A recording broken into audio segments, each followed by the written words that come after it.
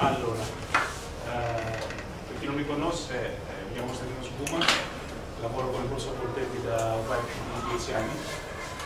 Eh, sono greco, quindi dovete per forza perdonare il mio accento italiano perfetto, eh, anzi dovete perdonare anche qualche errore di grammatica.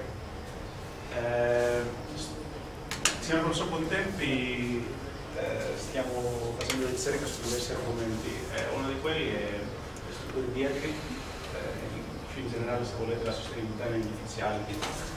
E di questa ricerca è nata questa presentazione. Uh, quello che vedete a destra una foto che ho fatto io quattro anni, eh, quattro anni fa a New York, è il Fish Tower, sta nel centro di Manhattan, è forse una delle strutture più emblematiche eh, della tecnologia DRL che esistono tuttora.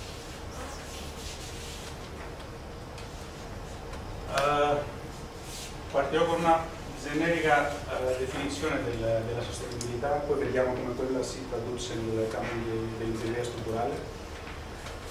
E forse la definizione più classica è quella della commissione Brundtland. Brundtland era uh, una signora, una prima, un primo ministro del, del Canada, che hanno definito lo sviluppo sostenibile come quello sviluppo che diciamo, soddisfi, eh, soddisfa le, le le, le, i bisogni del presente senza compromettere la capacità delle future generazioni eh, di soddisfare i loro bisogni. Eh, purtroppo ho messo tutto in inglese, quindi per forza devo tradurre alcune cose in italiano. Quindi come vedete sono diversi aspetti, c'è eh, la sostenibilità da un lato, però poi c'è eh, l'interazione con l'ambiente, l'economia, il campo sociale e così via. Quindi sono tante eh, interazioni.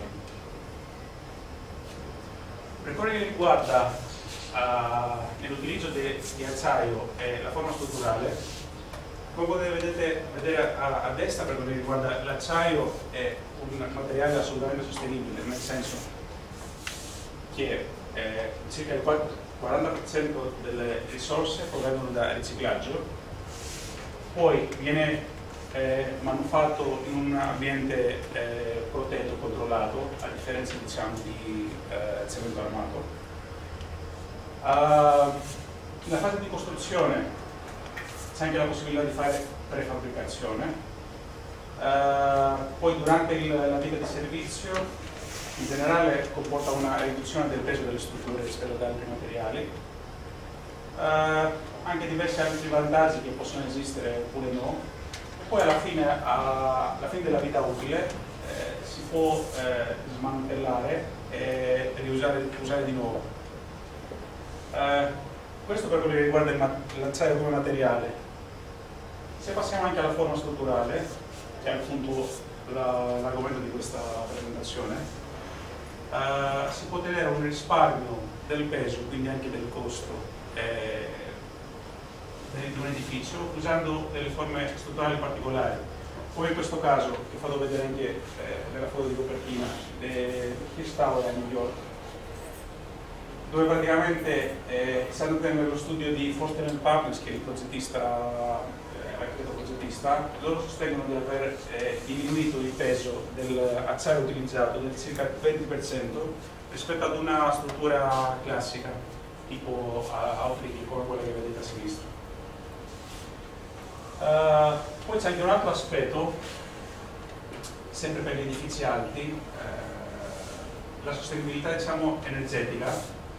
Uh, diciamo che c'è una tendenza adesso di cercare di implementare tecnologie come quelle per esempio della building automation, quindi tecnologie del campo di ingegneria elettronica, per mantenere più bassi i consumi dell'energia eh, quindi questa è anche una tendenza che in qualche modo va in parallelo con uh, lo sviluppo del campo strutturale.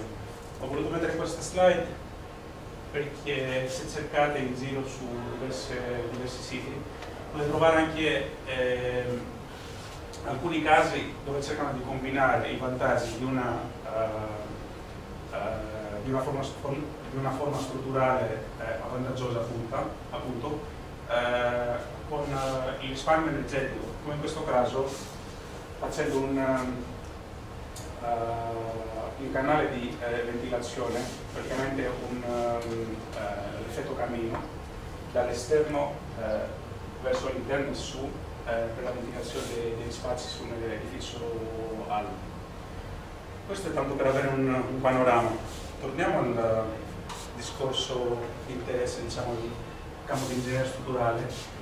Uh, questa è una classificazione dovuta a uh, Han eh, negli anni 60, poi ripresa da Ali Moon eh, nel 2007, eh, che praticamente suddividono gli edifici alti in due categorie. Quelli che chiamano interior structures, quindi strutture interne, che sono quelle strutture che resistono a carichi orizzontali esterni eh, soprattutto con il loro interno, con un inserimento diciamo, interno.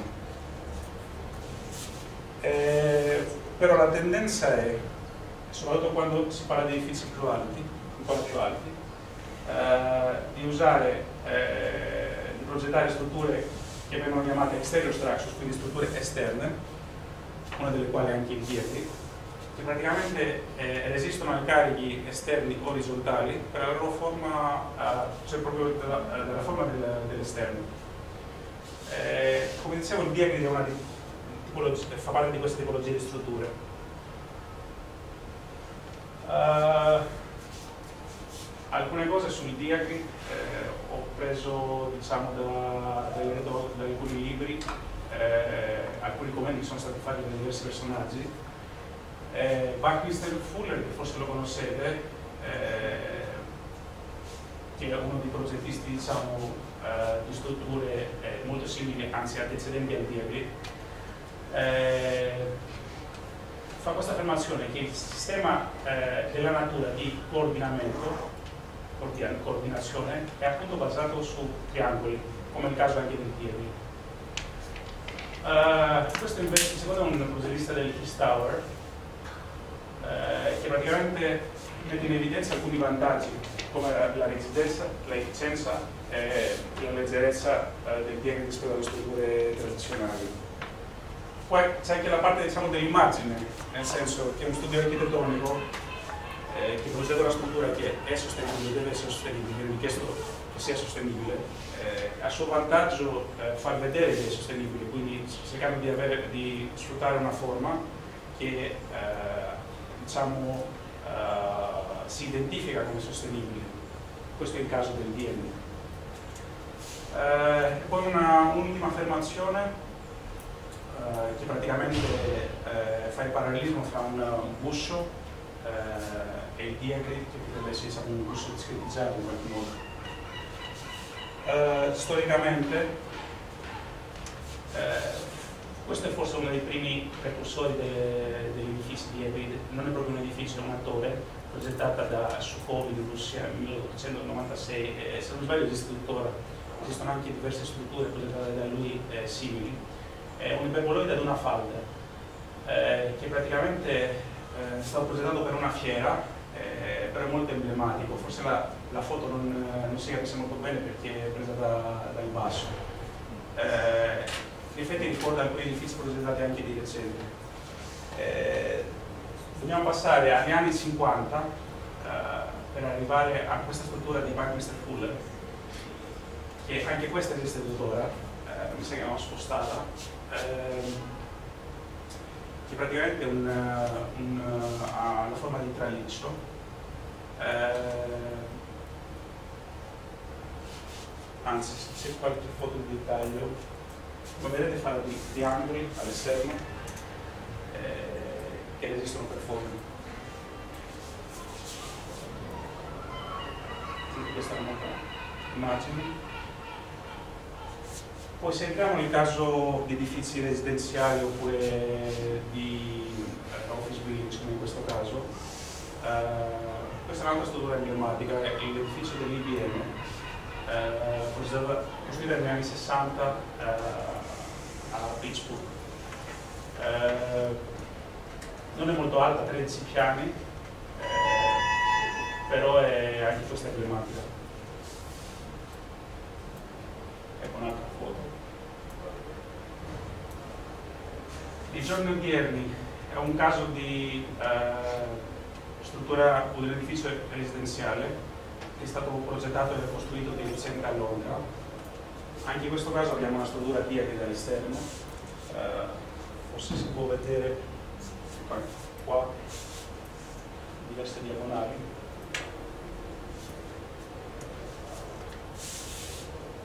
Alcuni particolari, senza, senza, eh, sembra un completamento dimensione 2 anche questi sono alcuni particolari costruttivi dei modi di collegamento. Eh, poi questo non so se lo conoscete, se l'avete visto, il famoso jet, eh, jet non so come si pronuncia, eh, che in italiano sarebbe un cetriolo sott'aceto. Eh, Va bene, sono tante controversie, soprattutto quando uno si va a inserire una struttura moderna in un uh, paesaggio diciamo, già, che già esiste, eh, però comunque è diventato un landmark in qualche modo di Londra. Ha una forma particolare, che è anche molto aerodinamica. In effetti, sempre dal sito di Foster Partners, eh, sto delle immagini eh, l'analisi che hanno fatto sotto vento. Un ultimo caso che ho messo è una struttura molto particolare, molto complessa, eh, fatta praticamente di eh, sei blocchi di edifici, la torre della TV cinese a Pechino. Anche questa foto durante la, la costruzione. Anzi, un'altra, eh, stavo in giro a Berlino un mese fa, eh, trovato anche questo edificio in costruzione, ho voluto fare la foto ancora non ho capito chi l'ha progettato, non ho preso più informazioni. Eh, passiamo su un lato un pochino più tecnico, eh, il sistema strutturale del DIRI. Praticamente sono moduli che di solito occupano quattro piani, eh, sono diversi nodi di collegamento con il piano, quindi anche delle diagonali con il piano. Eh, e poi chiaramente carichi vengono distribuiti eh, sulla terra. Eh, per quanto riguarda la parte analitica, anche quella che viene utilizzata anche nella, nelle analisi, eh, sono delle formule molto semplici eh, per far vedere l'effetto del, dei, eh, dei, carichi gravitazionali, eh, dei momenti torcenti del, del taglio a seconda dell'angolo che formano eh, i triangoli, che praticamente è uno dei parametri eh, che potrebbe essere anche oggetto di ottimizzazione eh, a livello di progettazione. Detto questo, eh, vorrei mostrarvi un caso che abbiamo sviluppato qua eh, con il professore e una studentessa della eh, laurea magistrale qualche anno fa. Fra l'altro lei ha sviluppato una tesi che ha vinto anche un premio di laurea qua in, Italia. Eh, avevamo a disposizione un edificio progettato, un edificio classico tipo Outrigger, eh, progettato fra l'altro fra progettisti risultanti per contempi, eh, costruito in latina, non so se ve l'ho fatto vedere in qualche slide precedente. In realtà è stato progettato all'inizio eh, in, eh, in, acciaio, però mi sa che è stato costruito in cemento armato. Eh, quindi sulla base di questo edificio abbiamo cercato di progettare una struttura simile in Dirty eh, per capire quali potrebbero essere i vantaggi, soprattutto a livello di peso, poi eh, sul comportamento strutturale. Abbiamo pensato diverse eh, inclinazioni delle diagonali, queste sono le tele ai quali siamo arrivati, 42 gradi, 60 gradi, 75 gradi. abbiamo pensato di fare il confronto l'edificio è abbastanza alto, 160 metri, eh, se non mi sbaglio circa 40 piani. Quindi in buona sostanza siamo passati da una struttura outrigger ad una struttura dietro che praticamente è composta di eh, due strutture, una perimetrale che ha come obiettivo di resistere ai carichi eh, laterali, soprattutto il vento, ma anche a quelli gravitazionali, è una interna eh, che come obiettivo si pone di resistere a, di fornire resistenza ai carichi permanenti antropici. Eh, alcuni dati su materiali utilizzati per tipologie di acciaio standard, eh, acciaio 295 per la struttura interna, 460 per eh, quella perimetrale. Eh, anche alcune altre sezioni sulla geometria. Eh, come vedete c'è un piano di rigidimento eh, in corrispondenza al 29 piano Poi sono state eh, utilizzate diverse tipologie di capi, se non sbaglio 14 tipologie, eh, a seconda dei, dei carichi agenti. Eh, lo stesso anche per le colonne a seconda dei carichi agenti e del, della posizione su diversi piani. Io appunto volevo farvi vedere alcune, alcuni risultati, se volete anche preliminari. Dico preliminari perché abbiamo considerato solo uh, alcuni eh, casi limitati di carichi, per esempio non abbiamo eh, considerato l'azione sismica, siamo più interessati all'azione del vento. Eh, poi chiaramente anche la modellazione eh, può essere soggetta a, diverse, a diversi miglioramenti. Eh, diverse combinazioni di carico, no, la cosa importante è il peso, praticamente per le diverse eh, inclinazioni delle, delle diagonali abbiamo ottenuto un risparmio del peso che va dal 19 al 33% rispetto alla struttura originale. È un grosso risparmio, ma comunque in linea con eh, quelli che dichiarano anche altri progettisti su progettazione di un edificio del tipo di uh, le, classiche, le classiche analisi modali eh, su 6, 6 modi di integrazione. Um, Ma questa è l'azione del vento, l'edificio si trova eh, a Latina, quindi eh, se non sbaglio è eh, una classe di rugosità eh, beta, quindi un'azione un del vento medio su 10 minuti del 27 metri al secondo.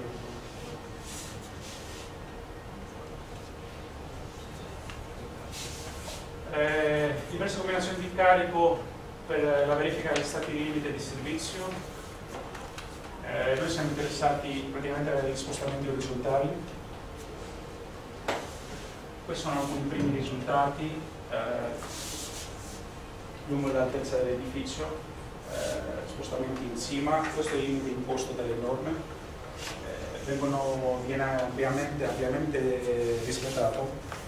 Quindi la combinazione di questi grafici in uno eh, vedete qua abbiamo dei spostamenti enormi dei 15 cm eh, di fronte a un limite di eh, 30 cm. Eh, l'unica cosa che si può dire questi su questi risultati è che la struttura eh, diagrita 75 eh, gradi e l'outrigger, eh, la struttura classica, sono quelle più flessibili rispetto alle altre due.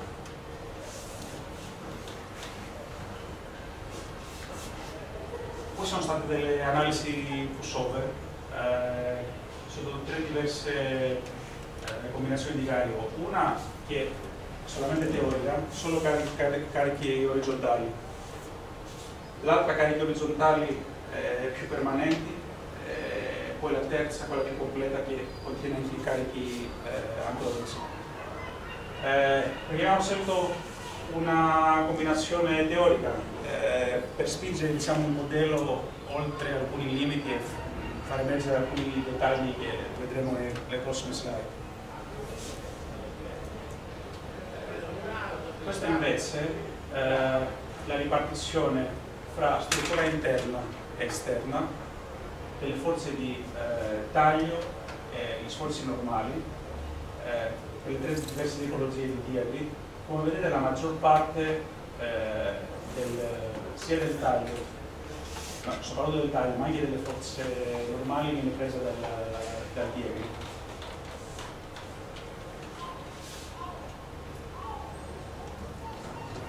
No, alcune definizioni su, sulle cerniere plastiche praticamente il legame costitutivo che è rigido e in questo caso completamente plastico, uh, questo per uh, le cerniere assiali, invece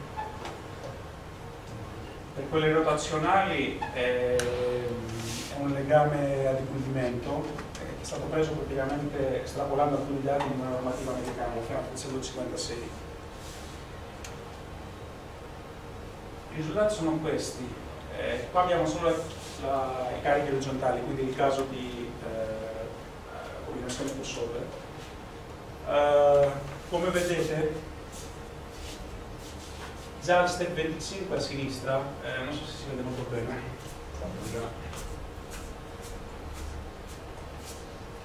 inizia la formazione di cerniere qua, nelle diagonali del dietri, eh, anche nella struttura interna si formano alcune cerniere. Poi al step 37 eh, le cerniere vanno verso l'alto, si sviluppano verso l'alto. Eh, al 44 eh, si formano, ah, ecco, si formano anche qua e qua nelle basi della struttura eh, tradizionale. E a step 51 abbiamo il collasso, vedete qua, eh, però comunque andando avanti, anche perché si può spingere ancora l'analisi, eh, si formano le, le cerniere anche eh, qua, eh, in cima. Eh, come vedete nel grafico forza spostamento, qua siamo spinti, cioè il modello è stato spinto fino a 3,5 metri di spostamento insieme, che è un valore assolutamente teorico. Uh, abbiamo fatto le stesse analisi con la combinazione che tiene conto anche dei carichi verticali. Come vedete rispetto a quella di prima la curva è più bassa e le analisi si fermano eh, un pochino prima eh, chiaramente il primo caso è teorico, questo eh, è reale, però mm, a noi piace vedere anche cosa succede se eh, dal punto di vista teorico sulla struttura, quindi eh, era interessante. In effetti queste sono le tre diverse combinazioni di carico e le curve di crossover eh, per le diverse strutture. Quindi il caso teorico con carico orizzontali, orizzontali più permanenti, più permanenti più Poi si è posto il problema di decidere quale delle tre strutture potrebbe essere la migliore. Questo è stato fatto su tre eh, parametri, la rigidezza, uh, la massima forza e la duttilità. Infatti abbiamo calcolato per diverse combinazioni di carico, per le diverse strutture, i valori di questi tre parametri. Chiaramente anche il quarto che il peso, quello abbiamo visto all'inizio, si è posto il problema di eh, come valutare qual è la migliore struttura. Abbiamo scelto eh, questa equazione, praticamente un, una media pesata che favorisce con un coefficiente tipo 1.2 eh, il risparmio del peso.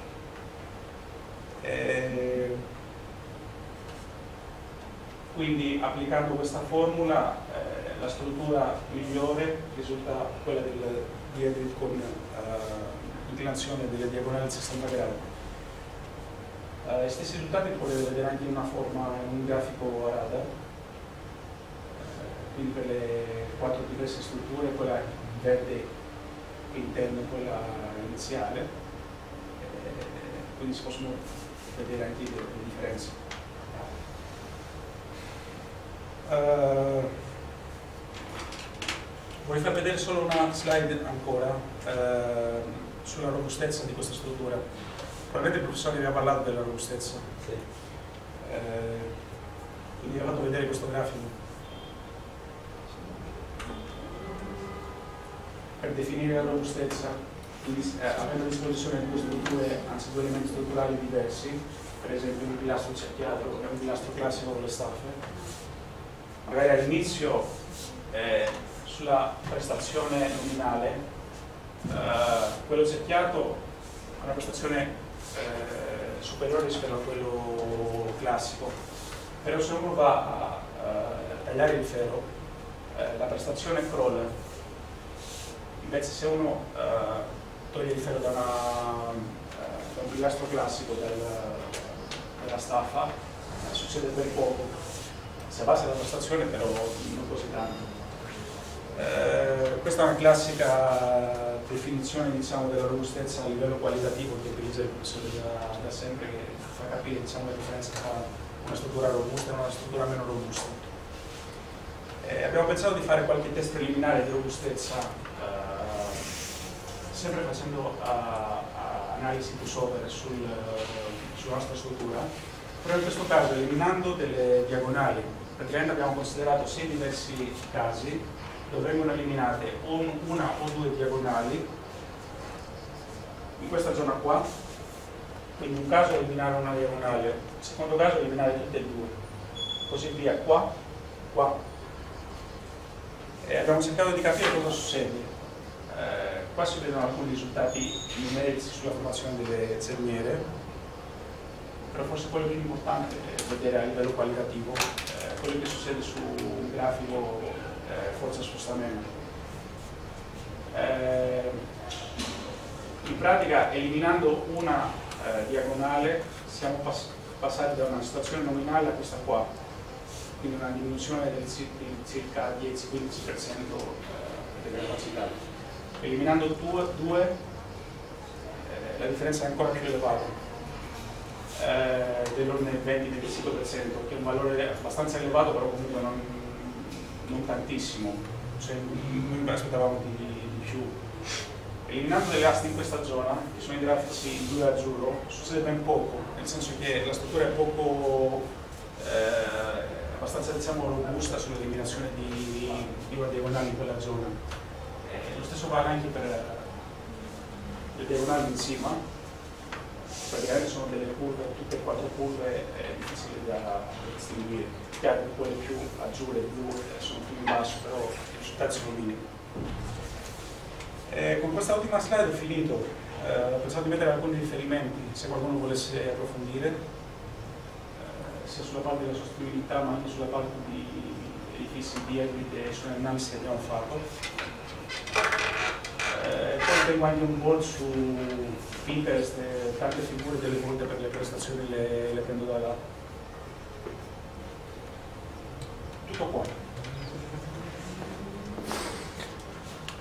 Va bene, possiamo uh,